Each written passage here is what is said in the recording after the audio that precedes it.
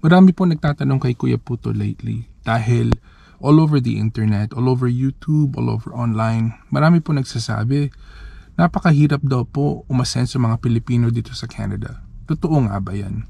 Yan pag-uusapan natin dito sa video na to guys.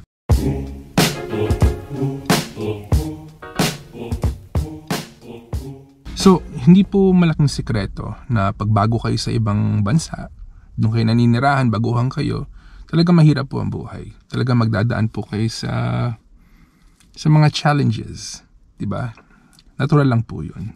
Pero tayo mga Pinoy, we're very very resilient people. So, bakit ang dami nagsasabi, siguro kapwa Pinoy din, na pagdating natin dito sa Canada, napakahirap umasenso. Totoo ba 'yon? Alam nyo guys, bago kayo makikinig sa mga ganong klaseng comment, tanong nyo muna, saan ba nanggagaling to? Sino ba nagsasabi nun? Ako po, I've been living here for the last 40 years. Pretty much all my life. And I can tell you this, napakadami, like countless, countless, countless Pinoys po. Nakilala ko, na-encounter ko, I've heard, I've seen. I've worked with, you know, very, very, very successful. So, you know, hindi naman po lahat ibig sabihin magiging uh, mayaman. Hindi naman po lahat magiging asenso. Nasa sa tao din po yun. Like, you know, how hard do you want it? How bad do you want it? What are you willing to give up to to achieve that goal, di ba? So, pag-uusapan natin guys, yung mga mga rason siguro kung bakit uh, naririnig natin to. Marami pong Pinoy pagdating dito sa Canada, nasya-shock po sila dahil uh, napakadaming other races na nakatira dito because Canada is a very diversified country, right? Ang daming puti, ang daming Indians, ang daming Latinos, ang daming different types of uh, Asians from all over the world, mga Arabs, you know. So, I don't know. Maybe it's the way that we were brought up, you know. May, meron pong iba mababa ang self-esteem, mababa tingin nila sa sarili nila, mababa tingin nila sa abilidad nila. Because to them, maybe, you know, where they were brought up, they were always made to believe na yung mga puti, yung mga ibang lahi, mas magaling sa'yo, mas maabilidad sa'yo. You know, mali po yun. Lahat po tayo pare-pareho. You know, if you apply yourself, you're capable to do the same things as other people. You know, tandaan nyo, pagising natin sa umaga, it doesn't matter if you're Filipino, if you're puti, if you're Latino, if you're Chinese, if you're Asian, if you're Arab, pare-pareho po tayo pag sinuot natin yung pantalon natin, one leg at a time. Unless special case kayo. so I guess sinasabi ko ni Kuya Puto is this. You know, kailangan yung mentality na mas mababa tayo kumpara sa ibang lahi. Tanggalin natin yan. Because you know, we're all humans. We're all capable of the same things. It just comes down to how bad do you want it? What sacrifices are you willing to give? Are you willing to make to achieve that goal? Yeah? So another reason po, kung siguro bakit yung mga ibang Pinoy is sasabihin you know, sa, sa kapwa Pinoy, you know, ang hirap umasenso dito sa Canada is because uh, yung mga tao na pumupunta dito, pagdating dito, they don't put themselves first. Ano ibig sabihin ng Kuya Puto? Well, you have to put yourself first before anything else. You have to be selfish. I hate using that word, pero totoo po yun. You have to be selfish at the beginning. Uh, I'll give you an example. Padala ng padala sa Pilipinas. As in, trabaho ng trabaho dito, lahat ng tinatrabaho nila pinapadala nila sa, sa Pilipinas. So, how are you able to build when every single penny, or at least the majority of what you earn, pinapadala nyo sa Pilipinas sa sa kapatid ninyo, sa pinsan ninyo, sa pamangkin ninyo, sa aso nila, sa pusa nila. Yan. You know guys, I understand na kailangan tumulong tayo sa pamilya natin pero lagay natin sa lugar. Dahil pag hindi po hindi po madali, you know, pumunta sa ibang bansa and magtrabaho doon and magtira doon. And in order for us to be in a position to really really help, we have to help ourselves first. We have to put ourselves first. We have to build ourselves first before we're able to do any of those things that we promised everybody. And at the same time, kailangan natin lagi sa lugar yan, right? So, sa umpisa, siguro, kaya siguro marami nagsasabi na, hey, you know what, ang hirap umasenso. Dahil they load themselves up with this burden. Yes, guys, they load themselves up with this burden of being Captain Save-A-Ho. Marami pong magagalit dyan. Ano ba yung Captain Save-A-Ho na yan, Kuya Puto? Oh, they want to save the world. But they won't concentrate on saving themselves first. Establish yourself first. You know? Hustle, work, put the sacrifice in, and eventually, when you get to that point where, you know what, kaya na, na tumulong ng sapat, then, tumulong ng sapat. But in the meantime, while you're building, you need to concentrate on yourself. You need to be selfish. I hate to say, but yeah, you need to be selfish at the beginning because you need to establish yourself first. Hindi po madali yun. Ano pa ba? Yung hindi po maiiwasan maraming Pilipino. Hindi lang Pilipino, ibang lahi din. Mayayabang. As in, mayayabang. Ayos lang siguro yung yabang sometimes kung kaya, pero karamihan po ng beses di kaya yung yabang, di ba? So, di po maiiwasan, you know, pag nandito kayo sa Canada, you know, mas patag ang loob nyo to be hanging around with other Filipinos, which is fine. That's okay. You know, it's got its drawbacks, but it's fine. You know, that's gonna be a video for another topic. That's a topic for another video pala. Pero ganito problema, you know, pag uh, when we're in we're when we are in a group of Filipinos and yun po ang uh, core group natin, yung pong mga tao na, you know, mga kaibigan natin, we hang around with them, di ba? Marami po mayabang.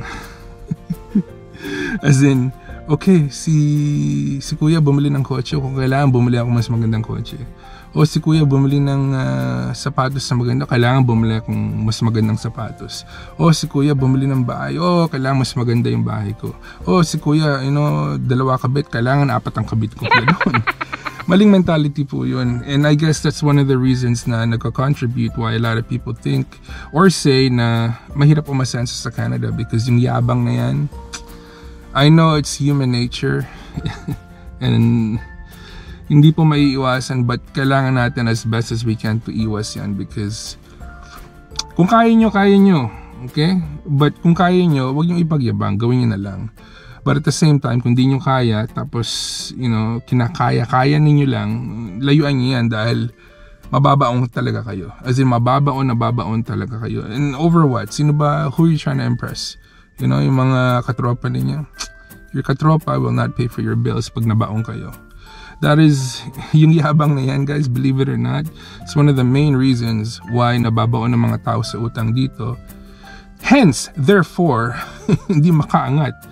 You know, yung asenso, tumatakbo, tinatakbuhan sila ng asenso dahil dyan. All over YouTube guys, narinig niyo yan, crab mentality yan. Pag nakakita kayo ng Pilipino na umaangat ng konti, imbes na tulungan ninyo, pinagchichismisan ninyo, you know, you badmouth that person, you badmouth what they're trying to do, or you discredit what they're trying to accomplish, maling-mali po yan. Yan dapat yung mga mentality natin na, na, na mga Pinoy na nandito sa ibang bansa that are trying to make it, tulungan dapat tayo. Uh, yung crab mentality yan, bullshit yan.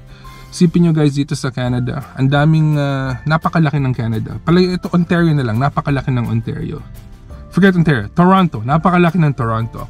Alam niyo ba sa Toronto, ano yan eh, it's divided into different uh, cities. Okay? In every city, merong prominent culture or race that is predominantly living in that city. So, sa Woodbridge, mga Italians. Sa Markham, mga Chinese. Sa Brampton, mga Indians. Sa, sa Toronto, sa may uh, Richmond Hill, Thornhill area, yung talagang mayayaman, mga Jewish, mga Hudyo. Pa tayo mga Pilipino, wala tayong ganun. Alam niyo kung bakit? Because those other cultures that I mentioned that own those cities, that live predominantly in those cities, they learned how to help each other. Yes. you know, for the majority na, na natutunan po nila na layuan yung crab mentality. Instead, nagtutulungan po sila lalo na yung mga negosyante. Kahit yung mga regular na tao, nagtutulungan po sila. Pag nakakita nila yung isa umaangat, tinutulungan po nila yung kapwa para makaangat lahat. Dapat tayong mga Pilipino, ganun ang ginagawa natin. You know, imbis na, oh, yung inggit na yan, pag, pag nakakita ng, ng tao na medyo umaangat ng konti, kung ano-ano pinagsasabi. you know, oh, ninakaw niya yan. Oh, minana lang yan. Oh, kesyo ganito, kesyo ganun, nandadaya yan. Pero hindi naman nila alam kung ano talaga yung totoong storya. You know, si ate, si kuya, siguro nagtrabaho ng, ng todong-todo. Yung, kamay nila sumakit na, yung ulo nila sumakit na, hindi natutulog para lang ma-achieve yung goal nila. Tapos yun ang sasabihin ng kapwa Pinoy because iinggit, crab mentality. You know, they want to pull them down to the same level that they're at instead of helping them or even better, instead of asking them, hey, you know what? I want to be as successful as you. I'm gonna be humble and I'm gonna ask you for your help so we can grow together. Dapat ganun ang mentality.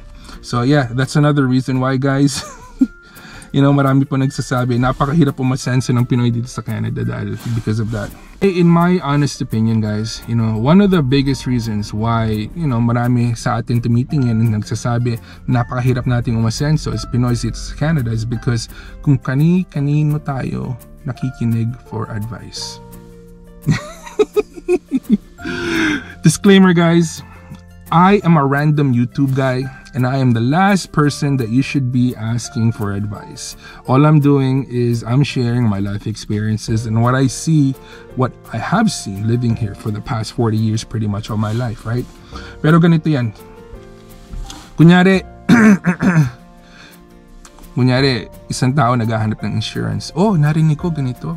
Narinig ko ganun. Tapos, kunyari, isang tao naghahanap ng kotse. Oh, narinig ko ganun. Oh, ganito ginawa ni ano, ganun ginawa niya. O kunyari naghahanap ng bahay. Oh, si Kesho ganito ginawa kaya nakakuha ng bahay. Oh, si Kesho ganun ginawa para nakakuha ng bahay. You know what guys, yung mentality ng mga Pinoy na yon, oh, yung yung, yung kani-kanino nakikinig, mali yan. You know, we need to start doing our research. We need to start doing our due diligence. We need to start being responsible for our choices and our actions. So kung meron kayong gusto, okay, palagay nyo na, gusto nyo ng kotse, imbis na sasabihin nyo sa sarili ninyo or sa kapwa ninyong Pinoy, Oy, ito, kung ganun, no, ganun ginawa niya, ganun ginawa niya, parang chismis. You know, it's not based on facts. Instead na makikinig ka sa taong yun, puntahan mo, maghanap ka na merong kotse. Itanong mo sa kanya kung paano niyang ginawa yon. The same thing goes for trabaho, the same thing goes for purchasing a house, same thing goes for pretty much everything. If you want something that you, if kunyari meron kayo nakita na gusto ninyo, gusto niyo yung bagay na yun, maghanap kayo ng tao na merong ganun. Tanungin niyo siya. Negosyo, same thing. Taxes, same thing. Everything, same thing. You know, stop uh, listening to these people. Oh, narinig ko, ganun ginawa niya. Oh, narinig ko, ganun ginawa nito. No. You know, do your own due diligence, do the research, ask people that are doing something with their lives. You know, don't, wag kayong nakikinig kung kani-kanino. You know, wag kayong, ano tawag din, yung utu-uto. wag utu-uto. wag utu-uto. So, well anyways guys, uh, yun ang topic natin. Sana naman, you know, walang natamaan dyan because these are basically, you know, some of the really, really annoying toxic Filipino traits that we have. You know, us Filipinos, lalo na dito sa Canada, maabilidad tayo, isipin nyo. you know, saan tayo nang galing? We came from the other side of the planet. Nandito na tayo sa Canada. Nagdaan na tayo sa kahirapan just to get here. Tandaan nyo guys, okay? All of us are capable of greatness. Lahat tayo. Lahat tayo tao. It's just a matter of how bad do you want it? Okay, what are you willing to sacrifice to get it? What path are you willing to take? And who are you, going to pick as your team to help you get there? Because, you know, wala pong nakakagawa na nag-iisa. You know, wala po nakakagawa ng success na nag-iisa siya. Lahat po yan may tulong along the way. And it's gonna be up to us to pick and choose the right people that we surround ourselves with to take us to the path of success. So yeah, huwag kayong maniwala. Marami pong umasenso, marami pong umaasenso dito. And marami pong masipag, marami pong matalinong mga Pilipino.